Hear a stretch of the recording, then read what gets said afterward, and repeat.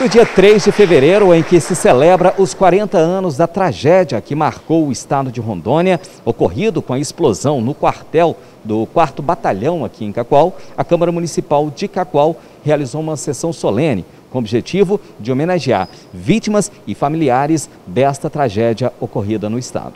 Então, é a nossa história, é a história do município de Cacoal.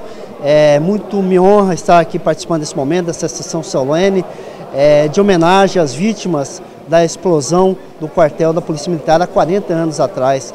Então o município tinha que prestar esse reconhecimento, não podia passar em branco essa data e dar honra a quem tem honra, né? Então esses jovens militares que aqui perderam a vida naquele fatídico dia 3 de fevereiro de 1982 devem ser é, lembrados e eternizados aqui na nossa história durante o seu discurso aqui teve um momento muito comovente, que foi quando você retratou de uma pessoa que realmente viveu aquela tragédia. Né? Então, nós tínhamos, na realidade, amizade com boa parte daqueles soldados. Né?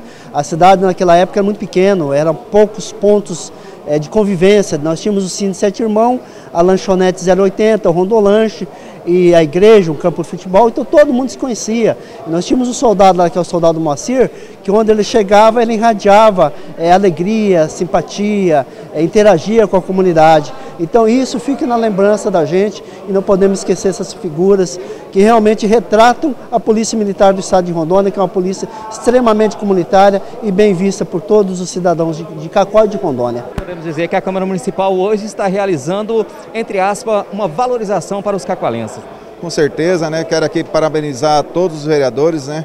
Que aqui também esteve presente, é, em nome do vereador Romeu e com certeza a oportunidade de estar tá aí é, mostrando à população cacoalense que muitos aqui é, chegaram recentemente, é, até mesmo os filhos da gente, né, igual eu disse agora há pouco, meu filho de 15 anos, de repente não sabe dessa história. É uma oportunidade aí para todos os cacoalenses realmente conhecer um pouco mais da história da cidade de Cacoal. Nós não podemos deixar eles serem esquecidos e tanto o poder público estadual como municipal fez esse reconhecimento, essas homenagens e nós temos certeza né, que eles é, são pessoas que deixaram um legado para a nossa comunidade cacoalense e nós temos cada dia que lutar para que ele seja garantido, que é a segurança da nossa comunidade.